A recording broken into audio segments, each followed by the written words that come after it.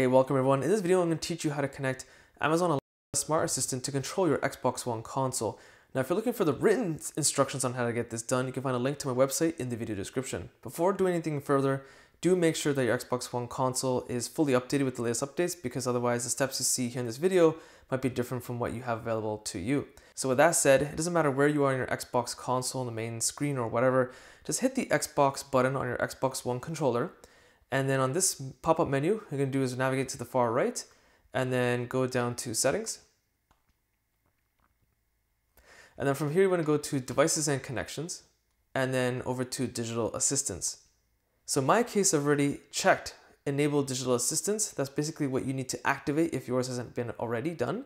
Um, and then from here, if you want to go back, this is an extra step. This might not be applicable to you. It didn't apply to me either, but just something I want to mention just in case.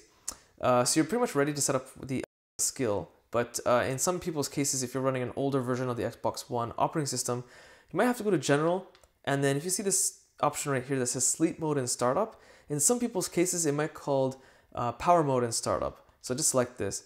So again, in my example, this is not really applicable because Sleep Mode is set to standby.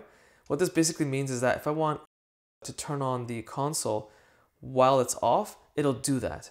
Um, in some other cases, if you're running an older version of Xbox One operating system, I don't think it's called sleep mode here. I think it's called something else. You might have to adjust it. But again, if you update to the latest firmware version, you will be just fine. So let's switch over to how to um, connect Xbox One to the Smart Assistant using mobile device. Okay, so the steps I'm going to show you are pretty similar across uh, iOS or Android devices. I'm using an Android device, but you want to basically install the app from the App Store or Google Play Store.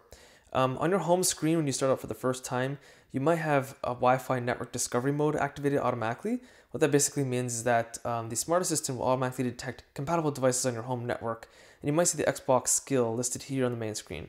If not, at the bottom right, just simply tap More, Skills and Games in the middle, and then from here, you want to search for the Xbox skill. At the top, there's like a magnifying glass at the top right, which allows you to search. And there you have the top result, which is the Xbox skill, and tap enable to use. And of course, from here, you have to log into your Microsoft account. This is the same Microsoft account that's used on your Xbox One console. You'll get a warning prompt just basically saying that uh, the Smart Assistant will need some minor information to your uh, Microsoft profile. Just hit yes. Nothing sensitive data, nothing too uh, important to be worried about. And that's pretty much it. Now it says it's linked.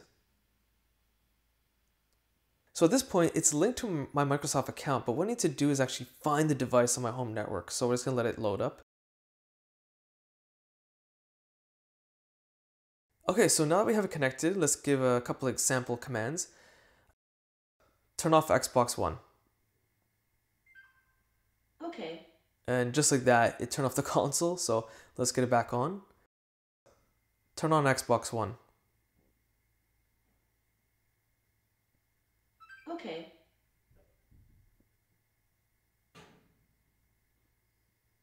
And there you have it, it works flawlessly. You can do more granular controls like opening apps or games. So for example, open Netflix on Xbox One. Getting Netflix from Xbox. And there you have it. And if you're really not sure to what extent you can go, you can always just say, ask Xbox, what can I say? To control the Xbox power, just say. And that's all there is to it. So if you found this video useful, be sure to check out my social links and website links in the video description. Hit the like button, it does help, subscribe, and thanks for watching.